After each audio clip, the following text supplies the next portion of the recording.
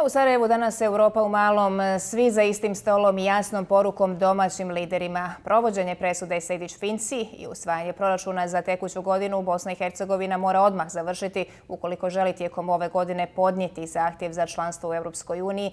Zaključeno je na sastanku parlamenta za Europu. Sastanku su nazočili osim predstavnika Europske unije i predstavnici svih razina vlasti u Bosni i Hercegovini.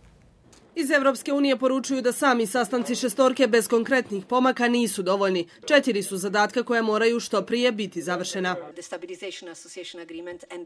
Prvi se tiče brzina realizovanja na pitanje iz okvira prijelaznog sporazuma. Drugi stup se tiče napretka u pogledu pravosuđa i unutrašnjeg poslovanja. Treći se tiče ekonomskih pitanja i posljednje se tiče određenih političkih pitanja koja se dotiču osnovnih evropskih tokova. Nešto o čemu se puno govori u posljednje vrijeme je izvršenje presude u predmetu Sejdić-Finci. Kredibilan napor bi bio da se ovo u stvari sprovede u dijelo. To je između ostalog državni budžet za 2012. što je od velikog značaja za Bosnu i Hercegovinu. Predstavnici Evropske unije u Bosni i Hercegovini također su naglasili kako je sasvim jasno da ključna uloga leži na bosansko-hercegovačkim parlamentarcima, te kako je njihov zadatak da prate i postiču rad vlada. Međutim, koliko uopće ovakvi skupovi imaju utjecaja kada znamo da o svemu u BiH odlučuju predsjednici šest političkih stranaka. Što se tiče parlamentaraca, svatko nudi svoje rešenje. E, naša ideja cilj je što prije treba završiti jedan dokument koji se zove program integrisanja da se jednostavno definiše šta je to obaveza parlamenta Bosne i Hercegovine da uradi kada je pitanje ustađivanja njene zakonske regulative, šta je to obaveza entitetskih parlamenta. Nema tu nekog velikog odlučivanja, tu ima jedan ogroman posao koji treba uraditi da se regulativa BH prilagodi stečevini, pravnoj stečevini Evropske unije. I utvrditi najprioritetnije zadatke koji su u ovom momentu pred nama, da taj put ubrzamo nakon zakašnjenja koji smo iz nama svima poznatih razloga napravili zbog informiranja vijeća ministara. Iz Republike Srpske poručuju kako je upravo ovaj entitet ključan za ulazak BiH u Evropsku uniju. Veoma je važno proizvesti proizvod, a proizvod, proizvod je entitet. Saglašavamo na nivou zemlje i iz Sarajeva može otići poruka prema Briselu jedino ako je u tom proizvodu učestvala Banja Luka. Inače, predsjedavajući vijeća ministara je i izjavio kako je prioritet novog saziva vijeća ministara da Bosna i Hercegovina do konca godine pred aplikaciju za članstvo u Evropsku uniju. Čuli smo, dakle, evo, kada je u pitanju Evropska unija, imamo cilj jasne prioritete. E, Nina, postoji li ovaj put istinska spremnost da će, e, evo, zadaća i biti urađena?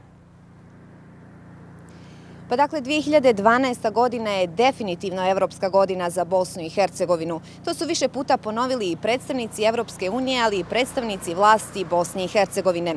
Na današnjoj sjednici predsjedništva, predsjedavajući Bakir Izetbegović, izdvojio je Evropski put kao prioritet rada predsjedništva. Pogledajmo prilog.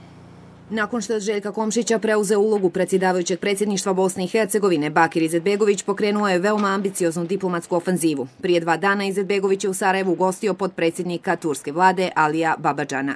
Radi se o jednom ogromnom kreditu koji će, ako Bog da Turska država dati Bosni i Hercegovini i koji će pod jako povoljnim uslovima, na jako duge rokove, dakle, pomoći da se poljoprivreda u Bosni i Hercegovini koja je na koljenima, koliko toliko ispravi, a posebno sa težištem i u funkciji povratka.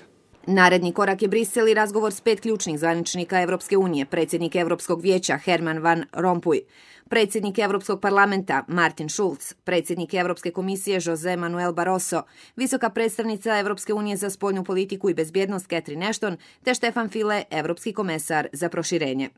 Cilj posjete je da upravo prvom posjetom pošaljem poruku o važnosti pristupanja BiH, BiH Evropskoj uniji. Dakle, da ustanovimo praksu intenzivnijeg i direktnije komunikacije sa čelnim ljudima Evropske unije. Očekivanja od Brisela su intenziviranje pregovora o napretku Bosne i Hercegovine ka Evropskoj uniji. Dakle, ja ću tražiti da se vrednuju koraci i napori koje smo načinili i da dobijemo jedan s njihove strane, dakle da nam pomognu da u što skorijem roku podnesemo aplikaciju za članstvo u Evropskoj uniji. Činjenica da će se Izetbegović u Briselu sastati s prvom postavom evropskih zvaničnika važna je poruka i građanima Bosne i Hercegovine te političkoj eliti naše zemlje.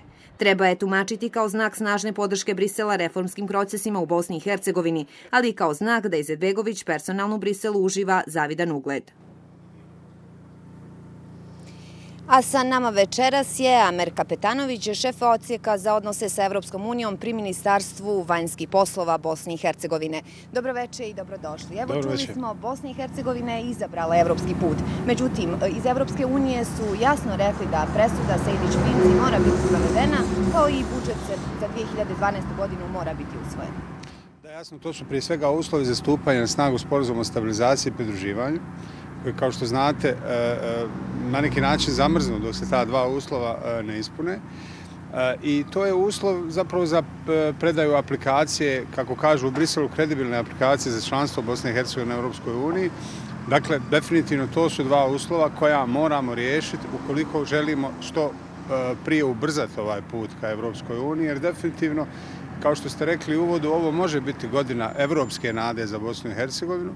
Treba biti oprezan prilikom davanja nekih velikih obećanja. Mi definitivno u ovoj godini možemo stvoriti jedan jako dobar preduvjet da već u 2013. E, to poentiramo na pravi način. A možete li nam reći, evo iz Evropske unije poručuju, dakle oni hoće rezultate, oni neće samo da ocjenjuju napere. Kako to komentarišete? Da li ćemo mi uspjeti, dakle, sprovesti tu presudu na način na koji očekuje Evropska unija i da li ćemo usvojiti budžet u vremenskom okviru u kojem oni očekuju?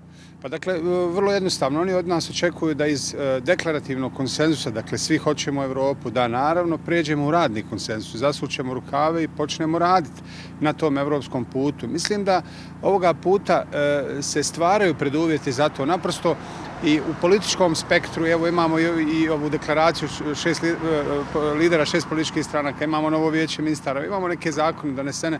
Dakle, postoji taj momentum, trebamo ga se držati i trebamo raditi u jednoj međuinstitucionalnoj sinergiji.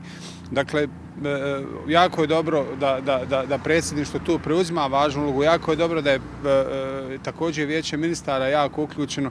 Na, na koncu imali smo predsjedavajućeg vijeća ministara koji je nedavno bio u Briselu, sutra ide predsjedavajući predsjednik predsjedništvo, uskoro ide ministar vanjskih poslova, a već negdje u aprilu imamo i politički dijalog Bosne i Hercegovine Europska unija, dakle dinamizira se stvar. Možemo, ali do nas je.